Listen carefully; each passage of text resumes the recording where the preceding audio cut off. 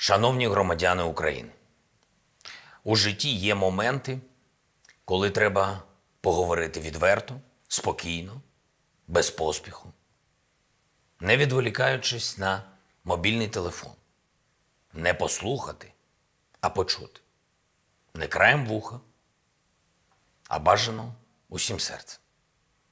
Коли всі ми маємо налаштуватись на єдину хвилю щодо найголовніших питань, що постали сьогодні перед Україною.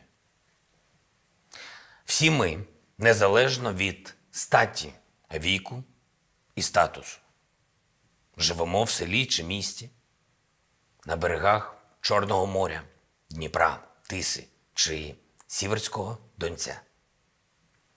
Говоримо українською, кримсько-татарською, російською, угорською або жестовою мовою. Без різниці, за кого ми голосували на виборах.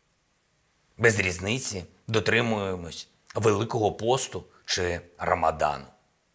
Носимо розп'яття, зірку Давида, хіджаб або не віримо в жодного Бога. Всі ми маємо однаково розуміти, що відбувається і що нам потрібно робити, що є сьогодні і що буде завтра. Почнімо з першого. Що відбувається сьогодні? Біля наших державних кордонів сконцентровано чималу кількість російських військ. Офіційно Росія називає це військовими навчаннями. Неофіційно весь світ називає такі речі шантажем. Чи хвилюється нас? Так. Чи вимагає Україна та її міжнародні партнери відвести війська від наших кордонів? Так. Адже Російська Федерація постійно повторює, що вона прагне миру, але водночас створює всі передумови для ескалації. Чи це логічно? Ні. Але чи це несподівано? Ні. Чи означає це, що ескалація неминуча? Ні. Чи хоче війни Україна? Ні. Але чи готова вона до неї? Так. Чи перестане Україна боротись за мир дипломатичним шляхом? Ніколи. Чи буде Україна в разі, в разі чого себе захищати? Завжди. Наш принцип простий. Україна не починає війну першою, але Україна завжди стоїть до останнього. Що потрібно робити вам? Перше. Усвідомити, що загрозу становлять не лише чужі війська, але й наші емоції. Як ми реагуємо на інформацію і де ми її отримуємо?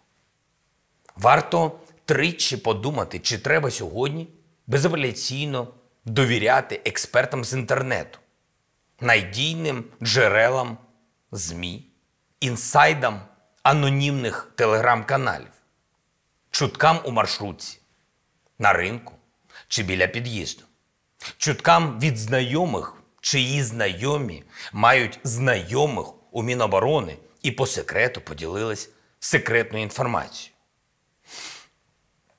А головне, чи треба довіряти заявам політиків, для яких мають значення не ваші інтереси, а ваші голоси. Політиків, що є героїчними полководцями тільки у Фейсбук і Твіттері, які, які кричать, що треба негайно почати війну, але мовчать, що мають на увазі наших, а не своїх дітей. А найстрашніше політиків, для яких перемогою буде поразка. Поразка України і можливість сказати ми ж вам казали і попереджали. Чи потрібно сьогодні нам бути пильними? Так. Чи потрібно нам боятися? Ні. Бо Україна 2021 дуже відрізняється від України 2014. Ми не боїмось, бо Україна 21 не має ілюзій. Розуміє, хто справжній друг і брат, хто готовий підставити плече, а хто може вдарити у спину. А тому Україна 21 розуміє усі можливі сценарії, знає, що буде робити у відповідь за будь-якого розвитку ситуації.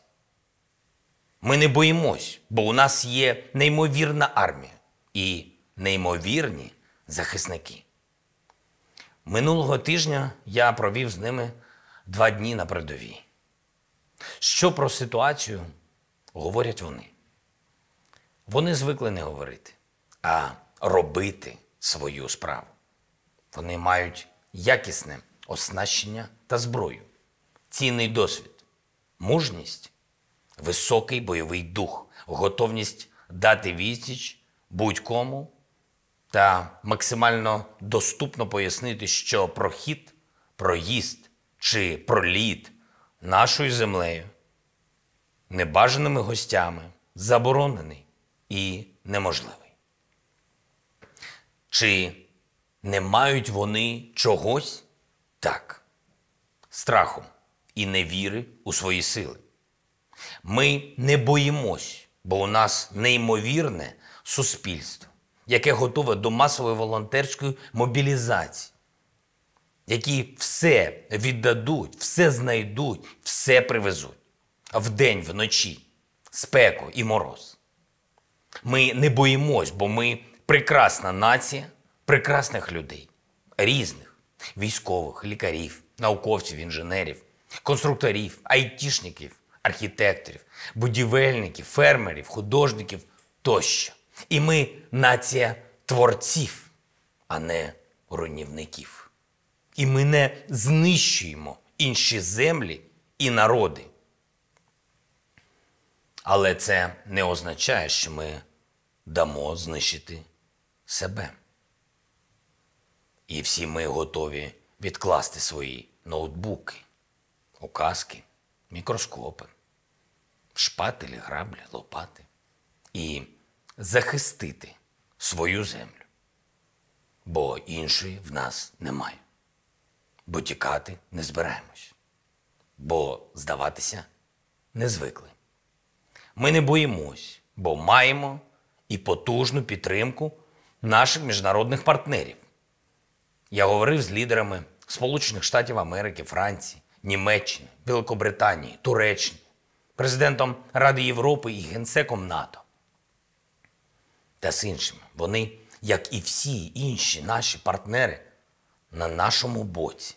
Вони прекрасно бачать справжні мотиви Росії, готові підтримувати нас фінансово, готові запроваджувати дедалі більше жорстких санкцій та ухвалювати жорсткі резолюції. Це правильно, необхідно. І за все це Україна дійсно щиро вдячна. Водночас нашим громадянам дуже потрібно розуміти, на що ще готовий світ. Як? Як саме і ким саме ви допоможете нам, якщо дехто знову проігнорує кордони в центрі Європи? Чи розумієте ви, що Україні, а разом з нею усьому світу, що вірить в силу і непохитність міжнародного права, може знадобитися значно, значно більше, ніж дипломатична стурбованість? Всім нам може знадобитись рішучість. Чи готовий світ до вирішення складних задач?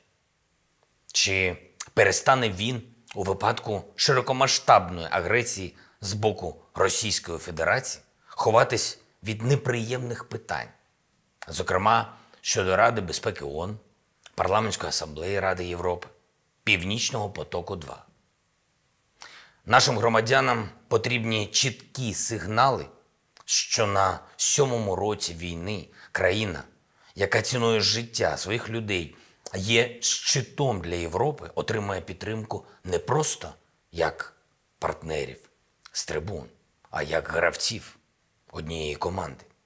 Безпосередньо на полі, плече до плеча. И отдельно я хочу обратиться к нашему северному соседу. Однажды президент России сказал, если драка неизбежна, нужно бить первым.